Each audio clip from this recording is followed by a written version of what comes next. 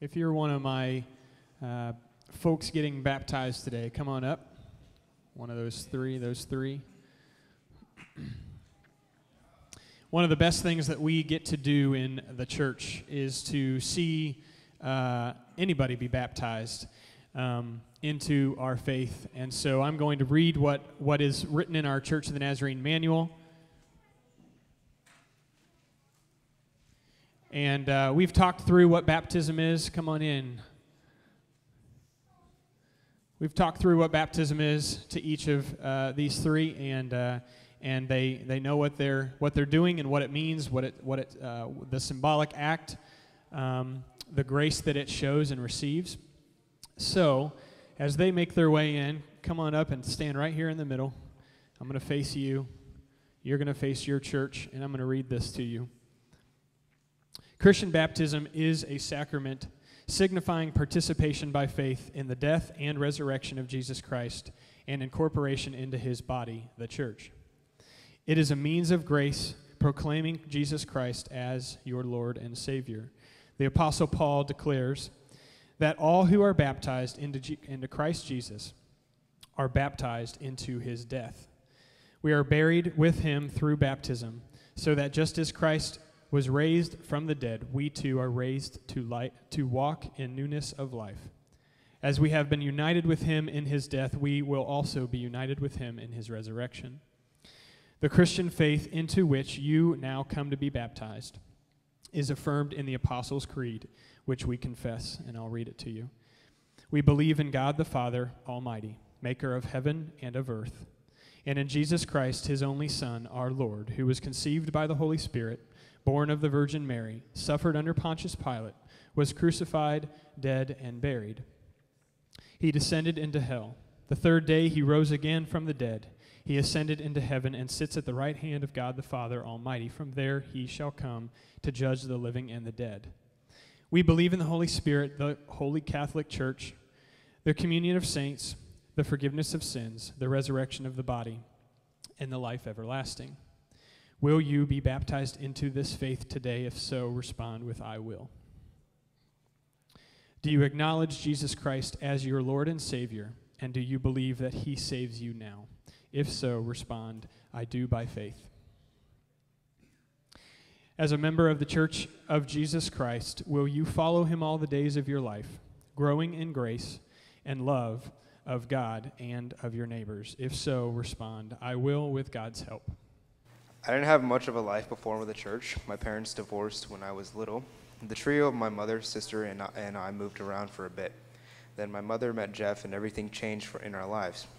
In May of 2010, our house was flooded, and Jeff let us live in it with him. He treated us like we were his own kids. Jeff used to attend this church, but due to some things he was dealing with, he left.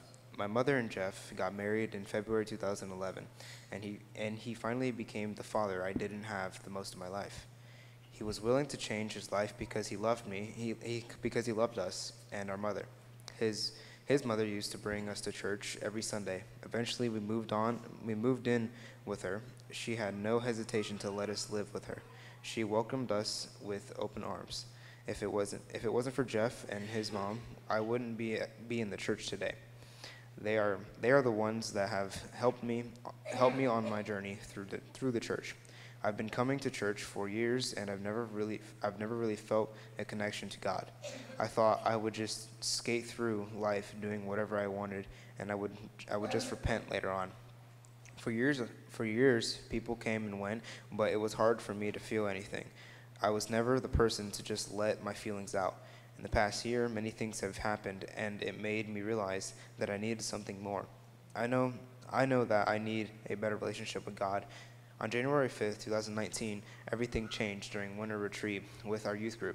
I had, I had been praying for an answer for a reason as to why things were happening in my life. I felt like I deserved uh, an answer for everything. The first day and a half came and went, and nothing happened. In our, in our final small group session before the final service, I prayed that I would get something out of it. God, God delivered just like He was, like He always does. I can't explain it, but God moved through me, and I know He He spoke to other people there as well. He answered me, maybe not in the way I wanted, but it but it's the way He wanted. God had God has a reason for everything, and He does it, and He does, and He does everything out of love. It was hard to pick a favorite verse, but this one has always spoke to me. Jeremiah 29:11. For I know the plans I have for you, declares the Lord, plan plans to prosper you and not to harm you, plans to give you hope and a future.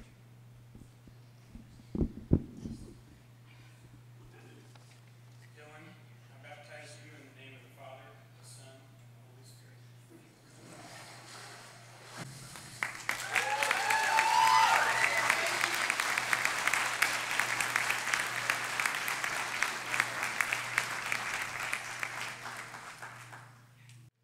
Life before God. I have always known who God was and what He does, but I never knew if I actually believe in Him. Growing up, I was really good. I always did what I was told, and rare- rarely ever pitch fits. Okay. but I would still get things and obstacles that I didn't deserve. I thought, if God is actually real, why am I getting these things that I don't deserve? I decided to give my life to God late last year. I was tired of never being fully happy and I wanted someone or something to lean on. Then I came to this church and I really like it, and it reminds me every day and encourages me to keep going. I have learned that God's love for me is unconditional and that no one is as important as Him. My, my, her favorite Bible verse is Isaiah 41:10. So don't fear, for I'm with you. Do not be dismayed, for I'm your God. I will strengthen you and help you. I will uphold you with my righteous right hand.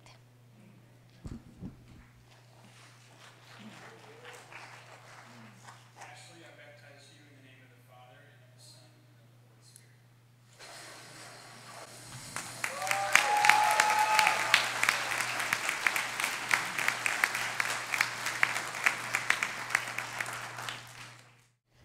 If you met me two years ago, you would not see the girl you see now. I was lost and in Satan's grasp. I started isolating myself, hoping people would give up on me so I could help myself out of the hole I was in. But the harder I tried, the more I would fall. I ended up leaving the church because I was questioning God's goodness. I was telling myself, if He puts me here, why does He deserve my praise? Why does He, why does he deserve my love? I thought He was punishing me. I thought He was put there, I thought He was put he has put me there to watch me suffer because I did something wrong. I've been attending Grace Church for a long time, as, or for as long as I can remember, when I visited with my grandparents. But I left because I was so mad at him that I wanted nothing to do with it. What I had, what I had to learn was God didn't put me there. I put myself there through the choices I made. God gave me plenty of opportunities to make the right choice, and I always picked the wrong choice.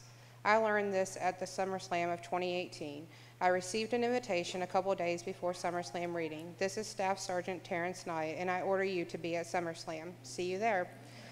As much as I wanted to just throw the invitation away, I didn't understand why I felt, or I didn't understand why, but I felt I shouldn't. I ended up going to SummerSlam, and most of it was spent doing the activities and hanging out. But when it came time to watch Covington, something happened, or something changed in my mind. It just clicked. Through the words he said and the way he said them, just really had me thinking. God didn't put me there, but that's where I ended up, and I didn't end up there to be punished. I ended up there to become stronger so I could help other people. I was recently told by a friend's mom, thank you, because I saved her kid without even knowing it. I was able to help someone because of what I went through, and God knew I was able to do it before I was even born. He gave me my family, my home, and my church family to help me get through everything. God saw I had the willpower to change other people's lives, but first he wanted to change my own. My favorite verse in the Bible is Romans 8:18 and it reads, "The pain you are feeling can't compare to the joy that is coming." When I saw this verse while in the place I was in, I realized the, that pain can't last forever and everyone face, faces hardships and I am no expe- exception. Being in there, I was able to see how lucky I was to have such a caring family that would bend, back, bend over backwards for me, even with my attitude.